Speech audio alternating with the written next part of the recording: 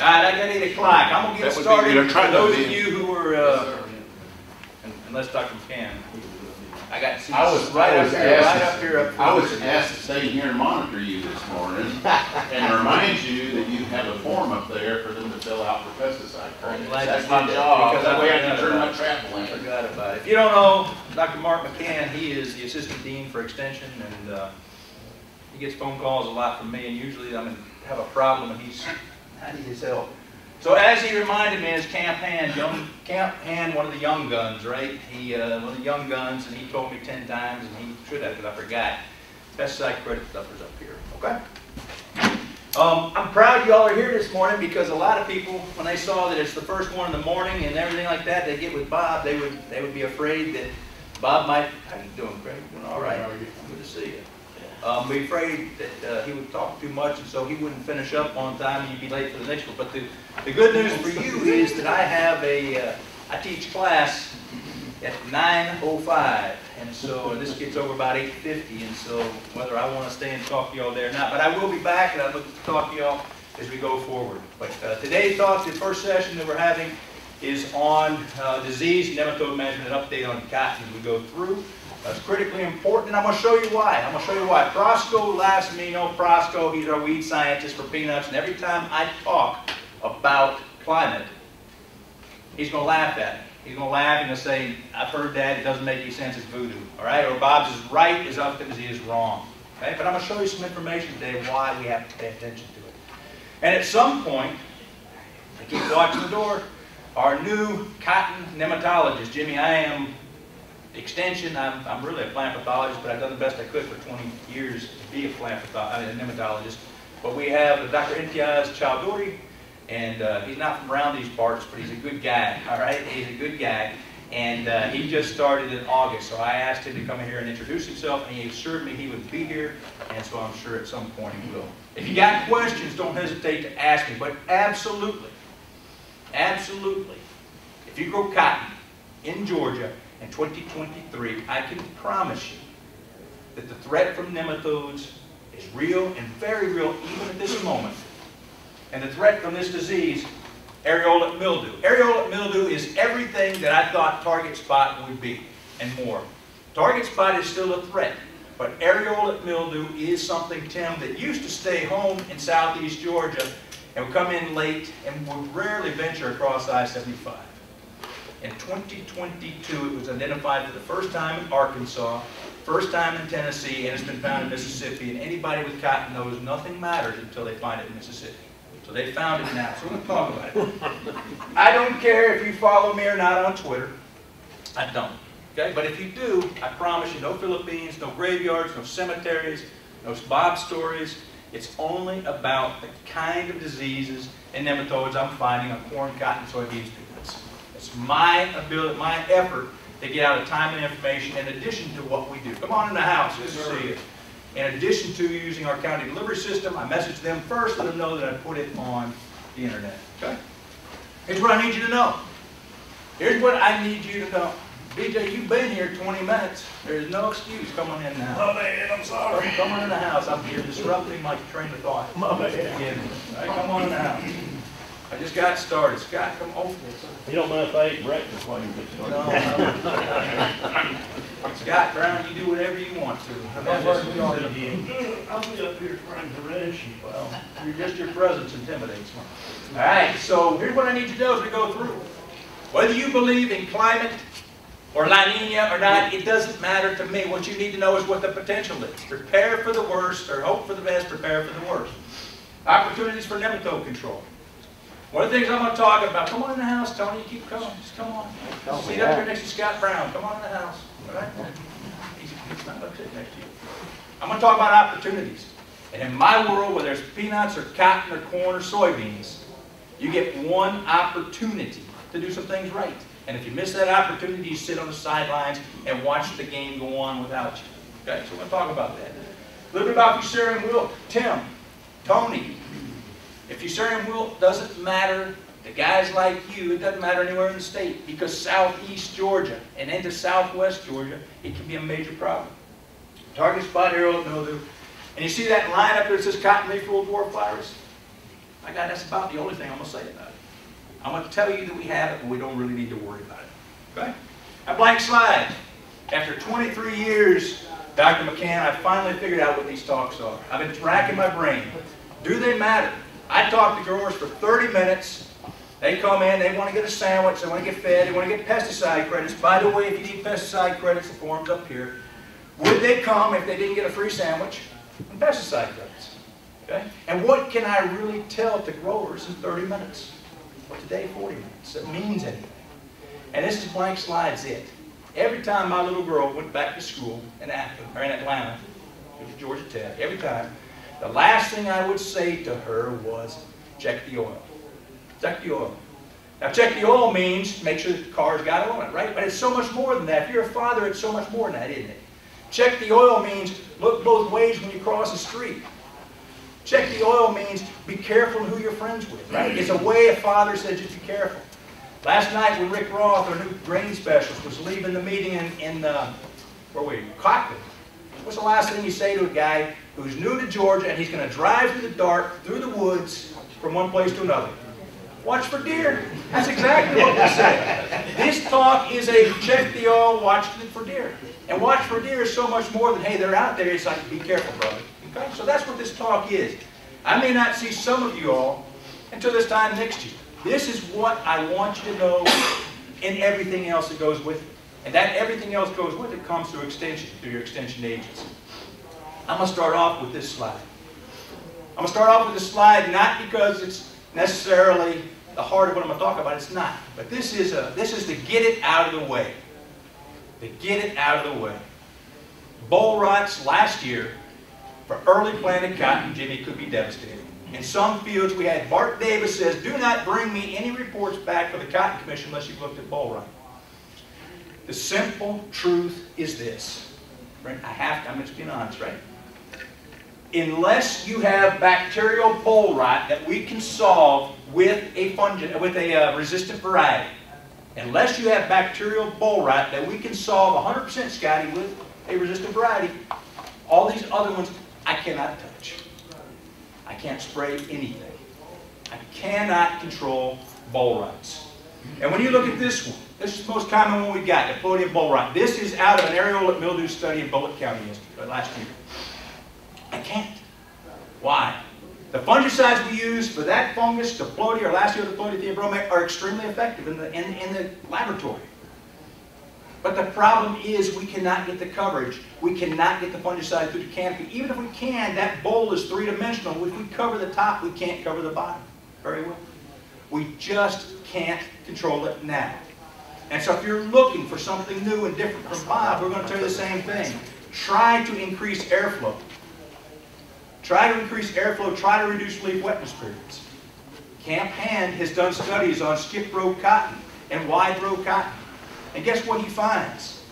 In some situations, you can reduce boll rot, Tony, a tiny bit. By increasing that airflow, you can.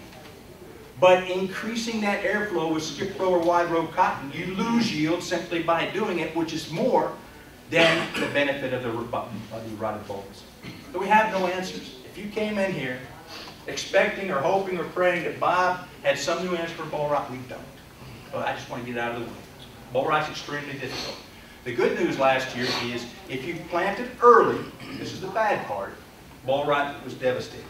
But we reached a point in the season where boll rot basically went away. Basically went away. It's all about timing.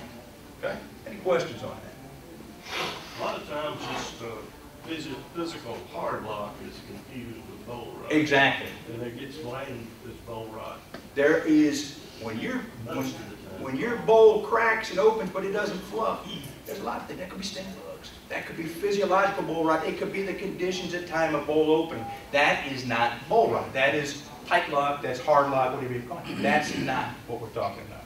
And how you control that, certainly a fungicide won't do. That's why I like him to sit in front. What, what causes, I'm one that's being confusing, you know, making a mistake myself. What Everybody causes does. title? Right? The tight lock can be caused by several I different reasons. understand, I know you say. Right. The biggest one, so I'll say there is a black box there that we don't know exactly all the reasons. But I will say that environmental conditions, so when that boll opens and cracks, the right environmental conditions are necessary for that lint to fluff in the spring. Okay? So the wrong environmental conditions can have something to do with it as well. When you see that pink color that we used to say was fusarium hardlock, I believe it's just incidental. It is fusarium, it is there, it's incidental to what, I don't believe it's causing. it. They said, what's gluing the fiber together? I don't believe that. Okay? But the big thing is, outside of insects, and I'm not saying fungi can't be involved, but outside is more of environmental conditions, it's open and environmental factors other than a disease. A lot of people think, that boll starts cracking, you get rain, it falls in there, and that, that has something to do, is that? It can, yeah, it does. Because in order for that lint to fluff, for that boll to open like popcorn, you have to have the right humidity, the right environmental conditions. And so you might also introduce fungi from the outside and the inside. And new lint is like cotton candy to a fungus. Okay? You're exactly right. Bob, I, I'd like to add something if I may. Scott, I would give you all my time. I just sit, I would sit at your feet and listen if you would talk.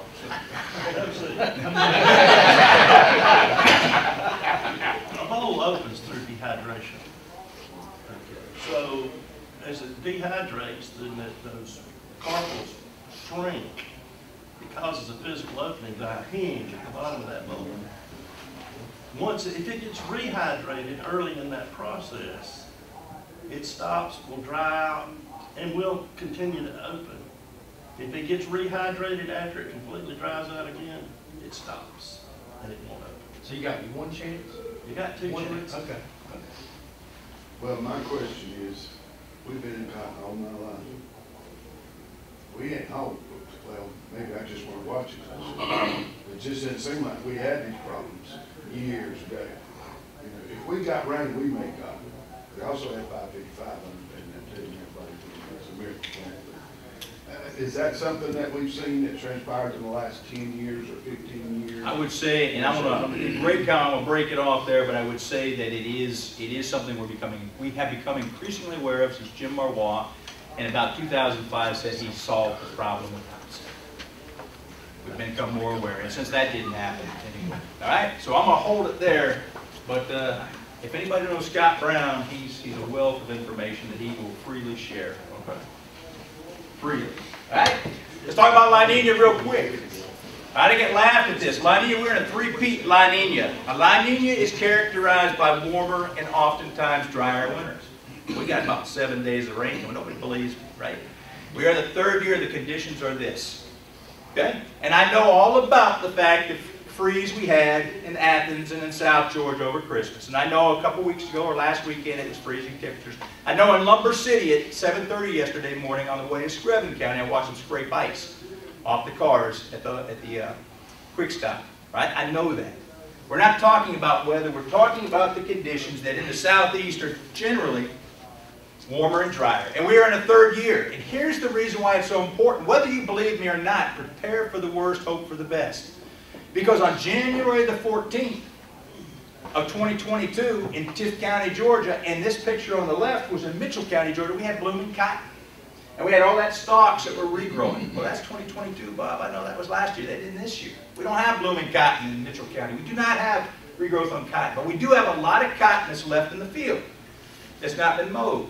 And it takes, under the right conditions, when soil temperatures get above 65 degrees, it takes about three weeks for an egg of a southern root knot nematode to find a host, to infect, and to reproduce and start producing eggs again. Okay? Three weeks. So when you think about when you picked cotton last year, when you mowed the stalks, how long was it until that Christmas freeze? Did you have time for buildup? And then as the soils increase, right? Well, Bob, we've had all that cold weather. We've had those freezes. Okay? You can't read this very well, but I'm going to read it for you. This is what I got yesterday. This is from John Offenberg. He is a uh, consultant in mid-Georgia. And he sent this to me. And this sample was taken on January the 18th because the grower wanted to know what the nematodes were, Tony, and he said, we don't need to do it. The grower said, do it anyway. I'll read it for you. And this one sample, there's the root knot nematodes? Not root knot. When you come here, in this one sample, this is 100 cc of soil out of North Georgia, on January the 18th, when those nematodes would be sleeping, 4,536 reniforms per 100 cc of soil. 1,854 reniform nematodes per 100 cc of soil in the other sample. Okay? So the point is, it is January the 18th. We're thinking Bob's crazy. Maybe he is. But the proof is we still got active reniform nematodes out there. We still got in other samples, you had active root knot nematodes. And so the point is, the conditions we've had, despite some cold weather, the soils have been okay and will continue to be okay, most likely, that we need to be prepared. And the importance is you get one chance. You get one chance to fight it. So despite the fact that we've had those cold temperatures, and you can ignore me, you can say, well, I'm not worried because it's been cold. Has it been cold enough, long enough, in a year like this, coming off a third year of, uh, of a La Nina? Now, my wife's from the Philippines, and that's lemongrass. We've kicked that back. Her lemongrass is dead. At least it's dead to the soil surface. And I've had to knock the ice five times off my dog's water dish. I didn't have to do that all last year. So I was hoping that meant that nematodes wouldn't be as big a problem. But that sample taken by John Offenberg on January the 18th shows that at least in central Georgia, around Cochran, the nematodes are active, and we need to be prepared for it. Are those two fields continuous, or are they widely separated? They're not, while they're same grower, they're, uh, they're not contiguous, but they are, but they're within proximity of each other. I didn't notice the state, if it had any state numbers, but it had lambs, it had uh, root form, it had uh, root knot. Did not have sting, had root knot, it had it had- So the technical message All there the, all is, oh, the cotton. is that, that, that they better be prepared. Now, that's one situation. But if the nematodes are active there, it should give us at least cause to think, what do I need to do? Because the most important thing to remember about nematode management in cotton is the opportunity. If you are going to fight nematodes in cotton, everything you can possibly do, with the exception of a Band-Aid Vydate treatment at the fifth to seventh leaf stage is 17 ounces. Everything you can do is over, Craig, when you drive away from the field. When you have covered that furrow, you've made your decision on planting date, you've made your decision on what variety you're going to plant, you've made your decision on what nematicides you're going to use or not use. Okay? Every decision you can make. Can you imagine? How many months do you grow cotton? Five months till you harvest? Right? For the next five months, everything you did on that day or didn't do is the die is cast. Okay? So that's why we keep talking about it. We keep talking about nematodes because I don't want people to come back, farmers come back and say, what can I do now when there's nothing you can do? We keep talking about them because they're hard to see. If they were as big as stink bugs or glyphosate-resistant pigweed, I wouldn't have to convince you. I wouldn't have to convince you that that's not sorry dirt, that is dirt that has nematodes in it, right? We got new varieties or newer varieties. We've got the nematicides we're looking at. And for that reason, we keep talking to make sure that no one says, after we talk about checking the oil, that you've checked it, you know what's out there. Because you don't want to be this guy. I show this picture every time. Because this is the poster for what happens. In the picture on the right, the grower's not there. His, his uh, hired man was there. Hired help work was there. He would come out. This grower's in Bulloch County. He likes 1646. Right, Bill? Bill, that's Bill's nephew. Strike me down if I'm lying, Bill, right? They said he liked 1646. He went out in that field because of economic reasons. He went out there with three and a half pounds of, at the time it was Temik, Ag Logic. And we got this call at the end of the year, right? We went out and visited. The cotton was eaten up with root knot nematodes. Eaten up. Across the field. And the sad thing was there was nothing we could tell him to do because everything that could have been done ended when he closed the furrow. The variety he planted, what he put out, the rate he put. And so everything we do in extensions, we want to make sure whatever you do, you're not surprised if this happens. Because what resistant varieties will do for you is on the right. What susceptible varieties is on the left with root knot nematodes. Root knot nematodes infest at least 70% of our cotton fields. Whether they are in your area, up around uh, in northeast Georgia, or whether they're in your area in southwest Georgia. Root knot nematodes. The problem is when you get up to you, you got just as many reniform nematodes. But we got an answer. At least we got an answer, a part of an answer. Okay? So what we can get with root knot nematodes is two things. I can promise you, you plant a root knot nematode resistant variety, you drop your nematode populations down like you planted peanuts, and you don't have that damage. Well, cotton growers don't grow cotton for roots. You don't grow it for leaves, you grow it for lint. And that's the thing we have to tell you is that the new varieties, if you're willing to give them a chance, the new varieties not only have resistance to root knot and sometimes reniform nematodes, you do not need a nematicide, but they also yield better. they also yield better. If you ever go and listen to Camp Hand talk, young gun, Camp Hand, and he'll show you proudly his data from last year, OVT trials. And you'll see that Dollar General Dynagrow variety up there at the top, $37.99 up there at the top. And you'll see those varieties from Delta Pine and from Stoneville up there at the top and maybe from NexGen. And you'll look way down at the bottom of his list. And you'll see two phytogen varieties with root knot resistance.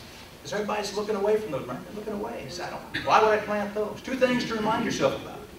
The first thing is the difference in lint yield between the top and the bottom looks big on a graph, but if you actually do the math, it's not a whole lot of difference between the top and the bottom. It skews your perception. The second thing is those trials were conducted in non-nematode fields. Those resistant varieties, if you put them where they belong, they're going to make good cotton. I'll show you. Just think about it. Okay? Think about it. In your area, with the reniform nematode, the root knot nematode. In your area with the root knot, Jimmy.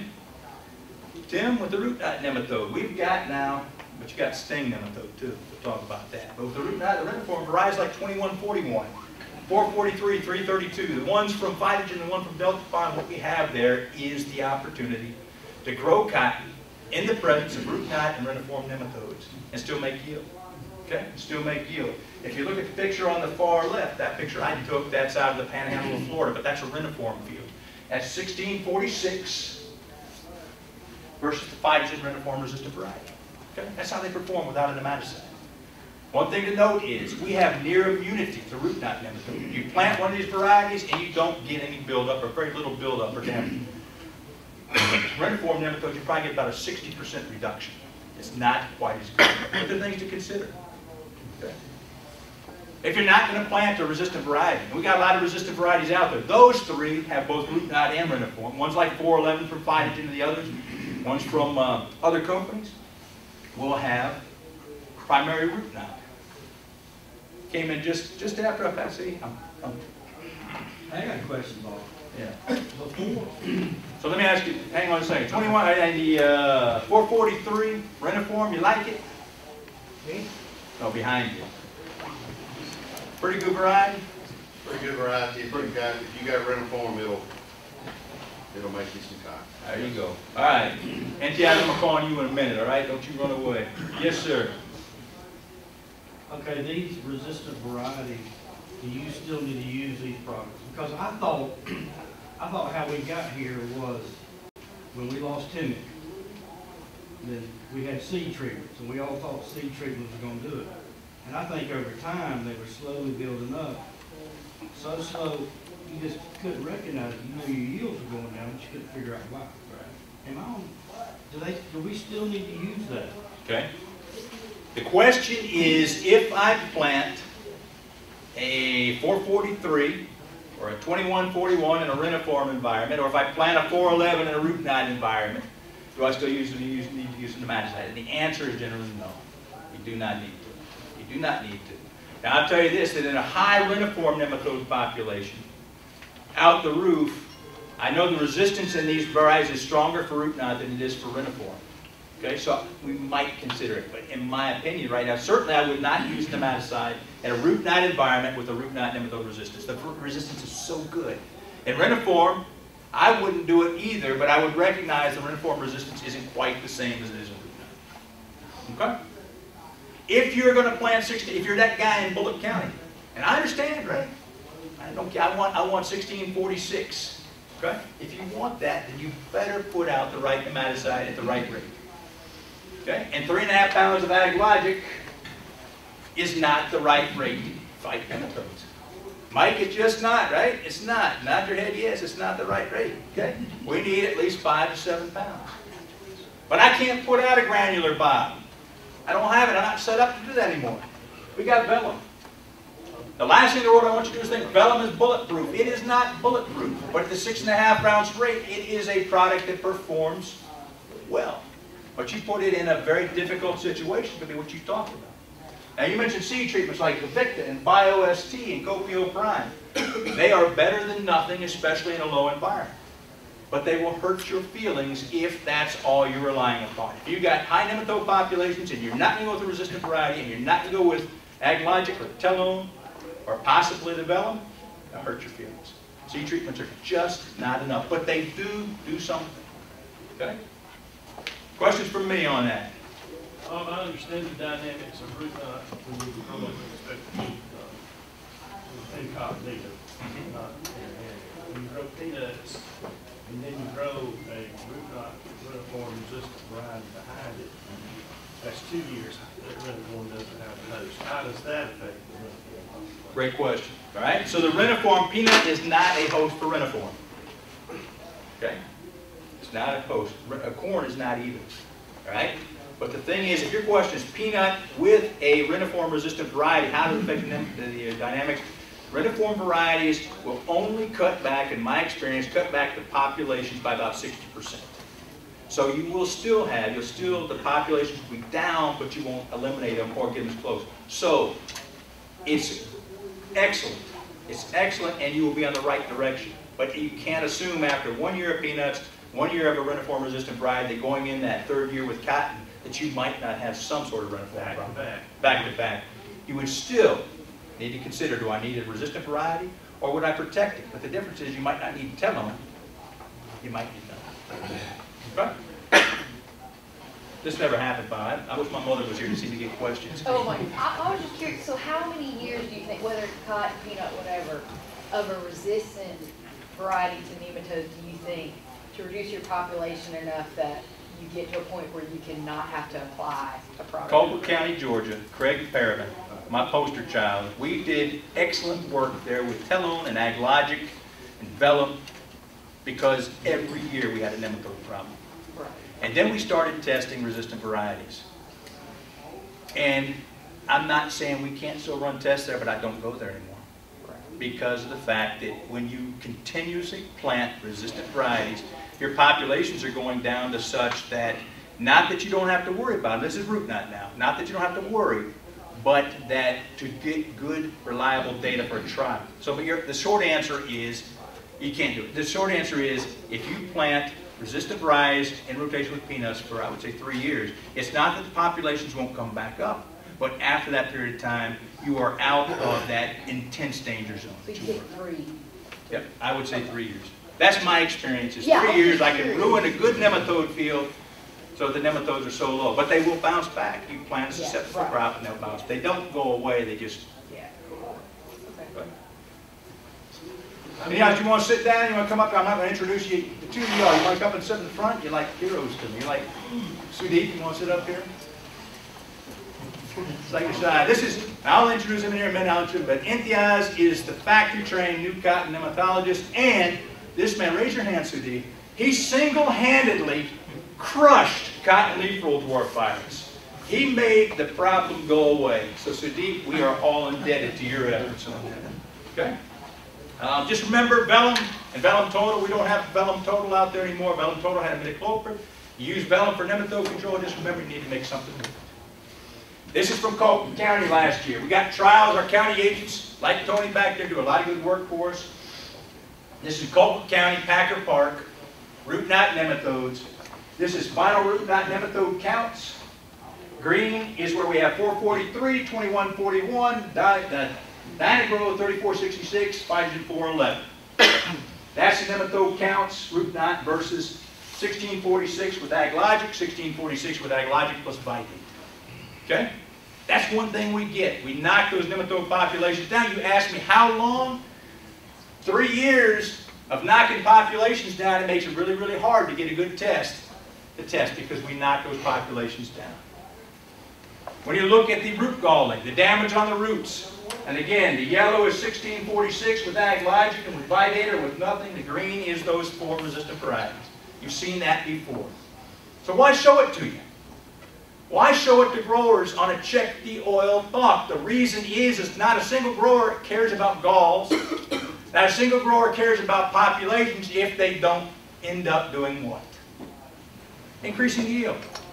Okay? And so here is what happened last year at Packard Park. It was a tough year, but the green bars are four resistant varieties of root knot. Two of them are resistant to root knot and reniform, and the yellow is 1646 with AgLogic and AgLogic plus Phyton.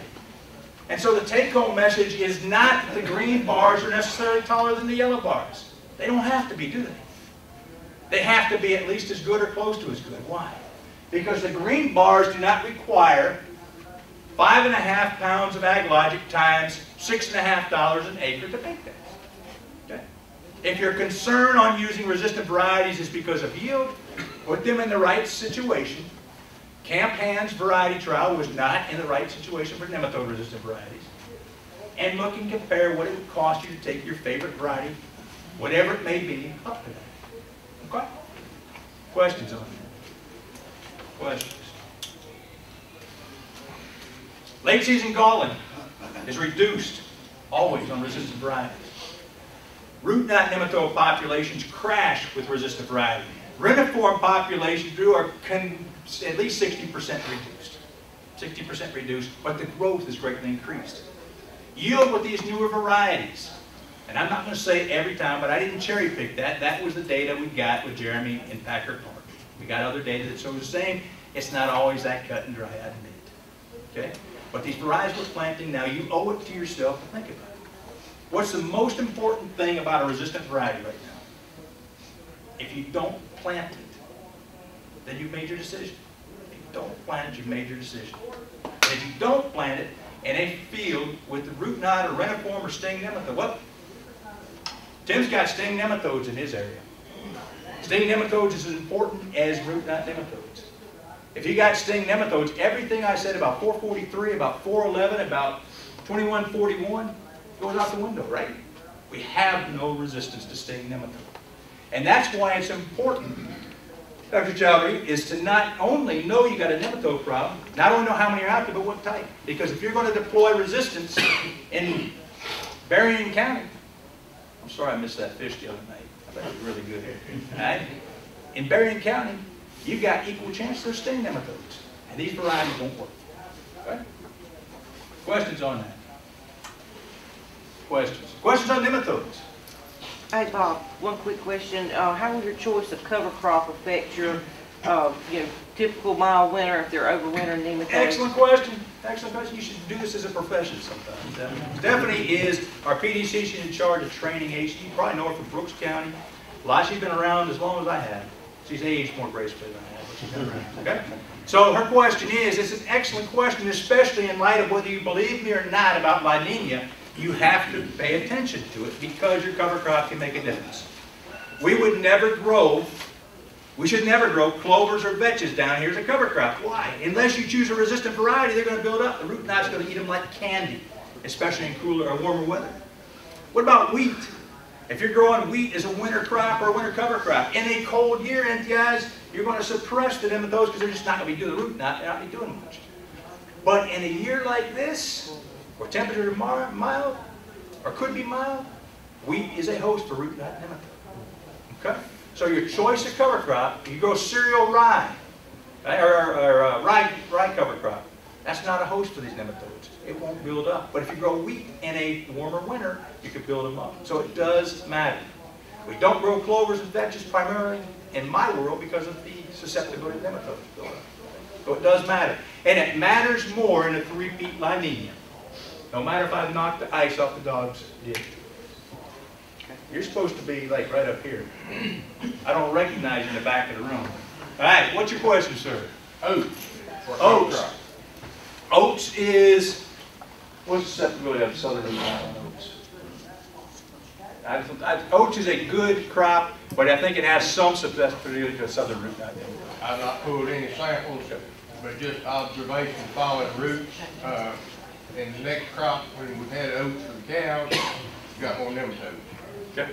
I, I thought maybe y'all done the research. What I, and I'm sure it's there. We don't have a lot of oats growing rotation, so it's not on top of my head, but I'll find out. But I will say this, no matter, this is disclaimer, Dr. McCann.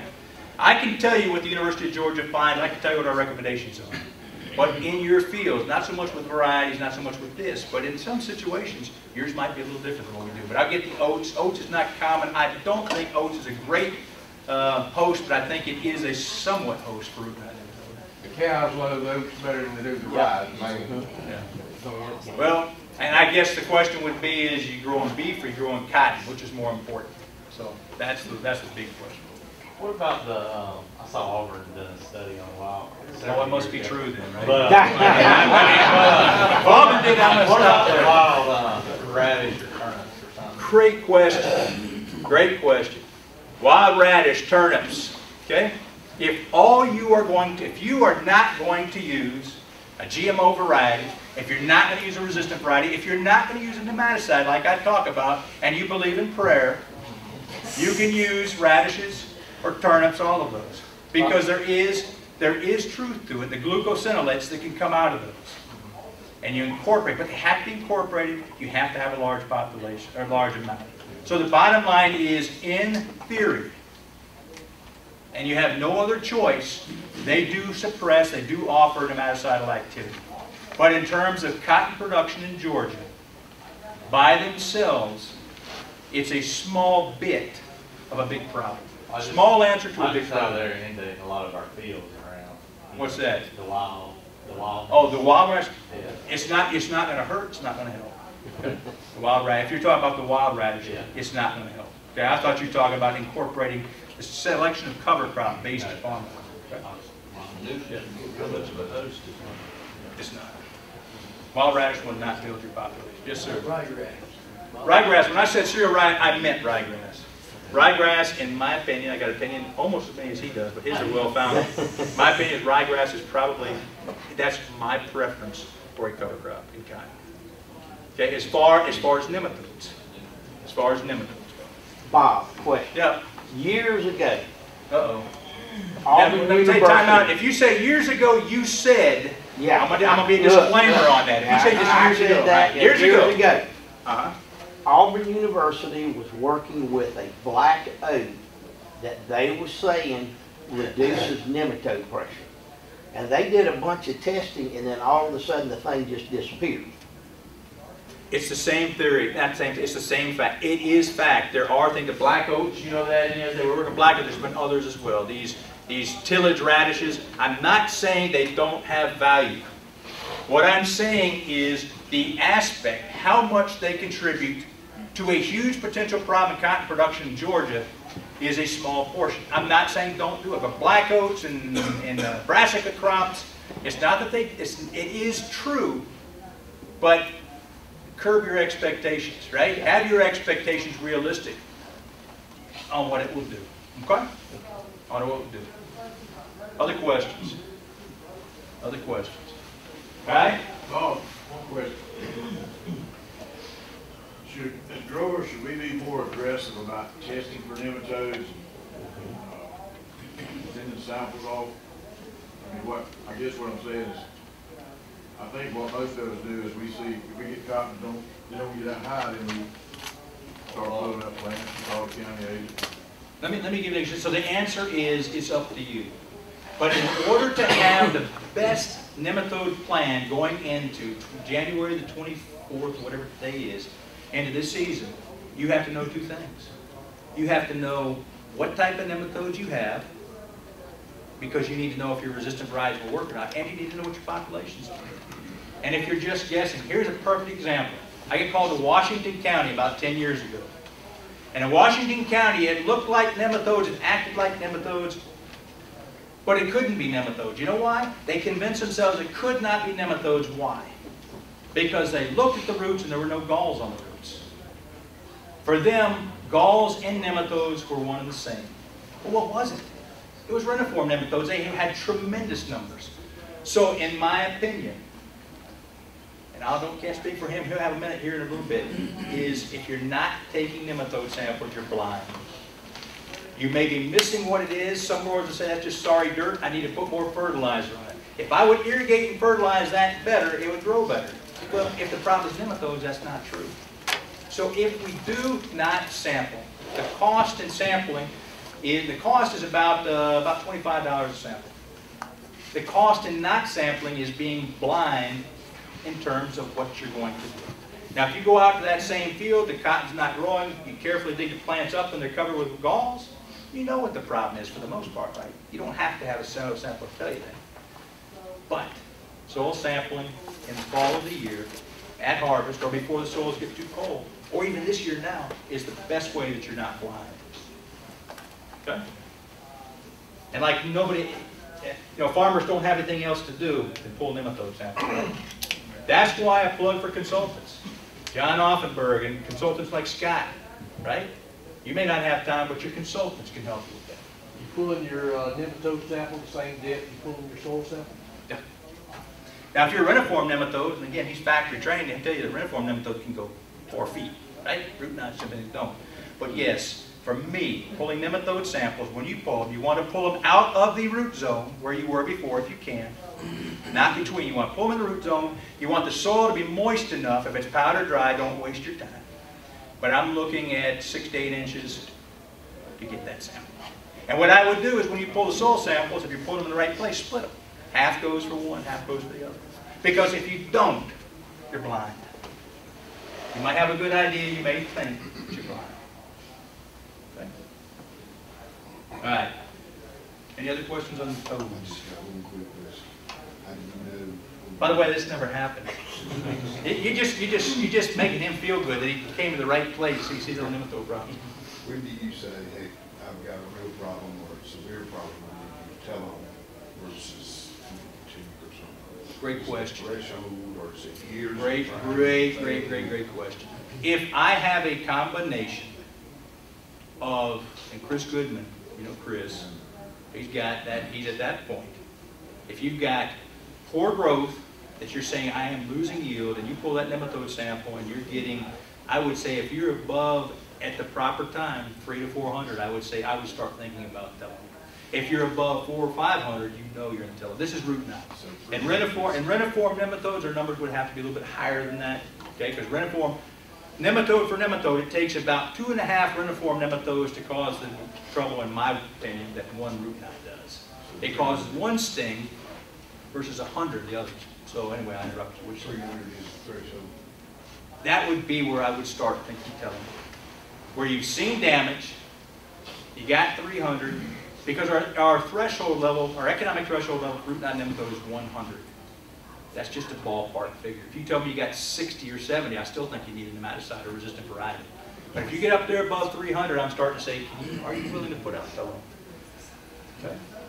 Chris Goodman, y'all don't care about Chris. He's not here. He'd have an opinion worse than me and Scott, right? But he would tell you, he fumigates just about his whole farm now. And he makes cotton and makes profit. Okay? Any other questions about nematodes? I got one, kind of on those lines, but if you're in the sixty to seventy range, It's a good thing you're here. You see, this one, and you're need a real recommending, nematologist. and you're recommending a math, I'm real curious about, you know, the cost of Telone, you know, how much are you getting out of like a, a Velum or a Vydate or one of the, if you're at like a lower, All right, so I would say that in a field that needs telone, a field that needs telone, a resistant variety, let's say it makes equal to 1646 plus telone, okay? If you don't use telone on a 1646 and you use Ag Logic, I would say that your yield potential could drop off two, 300 pounds of lint. I think that's what telone will provide over Ag Logic. And Velum may be, I said, two, 300 pounds versus Ag Logic. Velum might be three, 400 pounds. what about Vydate? Vydate. Vydate. Vydate in my world is only used as a second, uh, is, is after emergence, Yeah. 15 to 17. And I will be honest with you, on root knot nematodes in Georgia, I rarely see a response. But where we have reniform nematodes, in combination, for whatever reason, Vydate seems to work better on reniform nematodes, and a combination of Velum plus Vydate does increase, can increase, can increase yield to make it profitable. But I can't give you, that. I won't give you a Yeah, I'm just curious, because you do all the right. Like Vydate, Vydate is one of those that um, it's there. The, the nice thing about Vydate is that if we don't have anything else, we don't have anything else, right? When that furrow's closed, the only thing we got is Reclamil or whatever it is from, uh, we got two ones. There's two.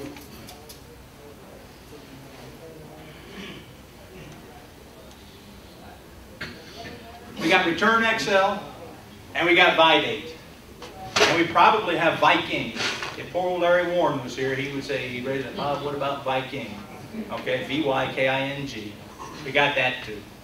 But these are for post-purchase. And I would say, A, don't bet the farm on them. B, a wing and a prayer.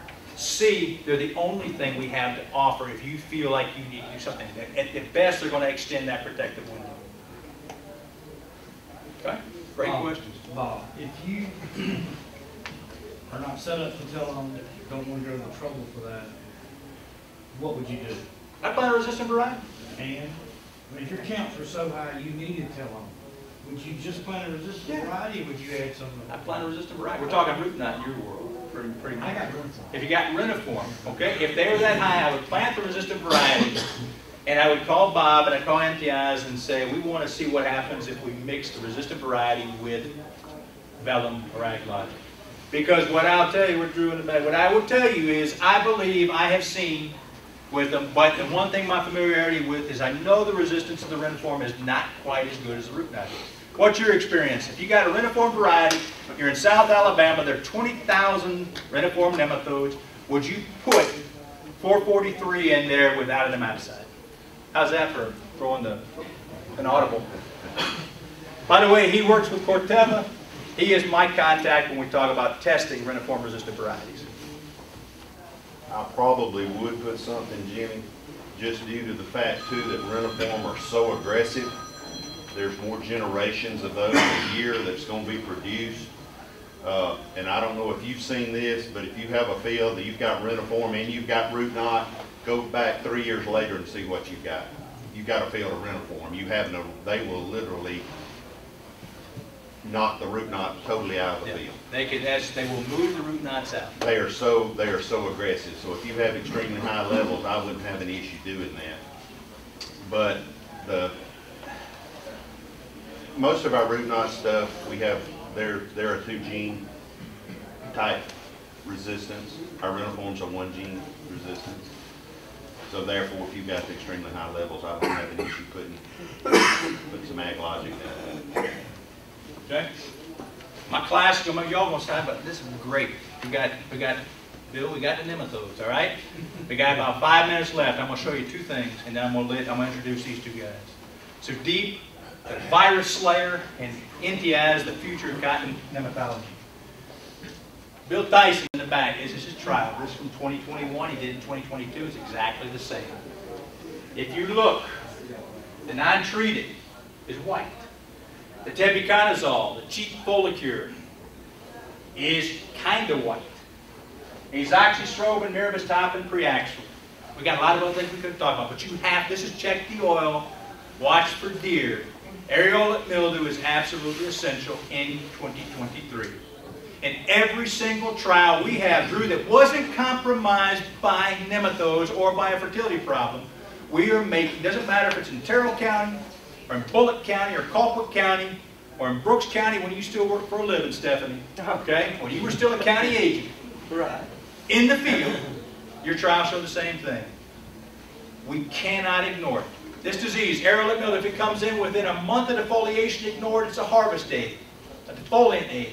If you're more than a month away, a single application, Tony, when it comes in, of azoxystrobin or Priaxor or Miravis is going to make you at least 100 pounds of length. And the Priaxor and the top are even better than the Abound. And they're going to make you 200 to 300 pounds of length. And the reason why there's more white in the non-treated is because the leaves fell off. And when the leaves fall off, you're not making your top crop as much. And anybody who says, Tony, well, I'm worried about boll rot, I want those leaves to fall off, again, we did not increase boll rot. We measured, didn't we? Stand up for me, okay? You don't have to stand up. We just say, we did it. We looked, right? There was no difference in boll rot. But how much yield did you make last year? This is Bill's trial last year, right? You can pick that non-treated. Seth McAllister's done the same thing. Jeremy Kichler's done the same thing. Stephanie did the same thing. And what we are seeing in terms of yield is that. We made 1,400 pounds of lint in the non-treated. Well, I don't need to use a fungicide, Bob. I made 1,400 pounds of lint. Well, good. But if you don't want 100 pounds more of lint, for a single fungicide application, it'd be good with it. But in some trials, we're making 200, 300 pounds. If you don't care about 100, 200 pounds of lint, don't worry about it, doesn't matter. But if you want to make that with a single fungicide application, be ready for it. How much Okay. did it cost when you, uh, put out that fungicide application? Great question. How much per acre? Okay, it's whatever your cost per acre is. If you're putting out the azoxystrobin, it's probably about five or six dollars an acre. So you're gonna make three dollars. How much you making off a 100 pounds of lint? Well, right now, not much. It depends, if so if 100 pounds of lint is not worth a $20 application, don't do it. If 200 pounds of lint is not worth a $20 investment, don't do it. And it's not just what you get, it's what you might get. That's exactly right. Bob, Okay. Bob, I got the economic slide too, I did not send that to you, I didn't send you all of them. But the economics, that's what everybody asked, the economics line up the same way as they're lined up up there. When I put, and I put eighty-five cent on the cotton, I took and subtracted the fungicide cost from each one, and the fungicides from left to right go from about twenty-five dollars to five and a half, six dollars for the azoxystrobin. You put in the application cost too? No, sir, because all that is the same. Uh, Everything else is the same other than the fungicide. We estimate about $5 an acre for estimate, for, for application. When, when you say the timing would be? The timing would be in his trials and Jeremy's, tri- Jeremy's trials in Fifth Culpeper week. County, they're usually looking third week of bloom. My recommendation is don't put it out for areolate mildew until you know it's in the area. You know, if neighbor has it, extensions found it, then I would think about doing it. Everybody does. What's that, third week of bloom? right when everybody else does. Oh, that's right. The problem with that is you may be late. Don't leave it with the peanut flour. The question is, ask yourselves, if I can tell you 100 pounds of lint or 200 pounds of lint, then if it's not worth it with the, look at the economics. But I can tell you that you consistently get it. I, we're going to be done here. I want to get, I promise this guy, this is stand up. Intiaz Chowdhury, he is a real nematologist. He is going to be responsible for nematodes on cotton and peanut, I mean cotton and vegetables. All right? Give one minute on what your vision is for what you're going to do with your job. So, so I am uh, from a small country in um, South Asia called Bangladesh. I did my Give your perception on what you're, you got one, you got 45 seconds. What are you going to do for these guys? They're glad you're here. What are you going to do for them? I'm here to serve, and I'm happy to be here. And uh, I don't, I'm not a replacement for Dr. Kemerait. I'm here to add to that. Uh, my program will have uh, both a bit of the laboratory work in the biology of nematodes, as well as the um, extension-related work, including um, the host resistance, the cover, uh, uh, cover crops, the nematicides, and um, yeah. So all the things that we wish, Mike, we wish we had more data on, cover crops, varieties, all the things that go beyond just me having a recommendation, he's going to be able to do. it. Okay? He'll be back, he'll be here all day, he'll also be back at 2 o'clock, we'll have some time. Last thing, Sudeep, the virus killer. You've got 30 seconds to tell him how you did it. If he was in charge of nematodes, we wouldn't have nematodes left in the state. He can do it. Thank you for all of your support for the last three, four years. Uh, the virus has not gone from Georgia. Virus is still here. In our last uh, experiment, we did in four different county in OBT, uh, Bulloch County, Colquitt County, Cook County, and Worth County. And in 60 days after emergence, we have on an average 45 to 73 percent of plant tested positive for virus. And by 90 days, I'm going by county. Bulloch County has 50 percent of plant. Cook County has 68 percent. Worth County 76 percent. And sorry, Worth County is 79, 97 percent, and Cook County is 76 percent. So, on an average, there is 70 to 90 percent of the plant that we tested in five different varieties are carrying the virus. So, why we are not losing any yield or whatever is happening, something is not triggering. Once it triggered, the virus is there, it may cause the loss. So, virus is not gone from Georgia, it is across the river at this point, but it may cause loss if there is some trigger that we do not know at this point. So thank you all for your support for this research and hope we will continue this part. Earlier the question was going on about, I'm taking one more minute. Walking toward door, you got, you got Earlier, seconds. earlier, earlier question was going on about wild radish. So wild radish, being a Don't virus guy. I work on all the different viruses. Class. I'll be around later, okay? I'm leaving within thirty seconds. So, so wild radish, right? I work on vegetable, I work on peanut, I work on cotton, all the crops. So, everyone is here on cotton, I'm taking your time here, but wild radish also carries virus that is transmitted by whitefly and some of your neighbors who are doing vegetable production, they are going to get harmed by that virus. So it's not that it is going to impact cotton, but it is going to impact vegetable. Wild radish is also carrying, They're ready to come in on the next one, you got to finish, bud. okay,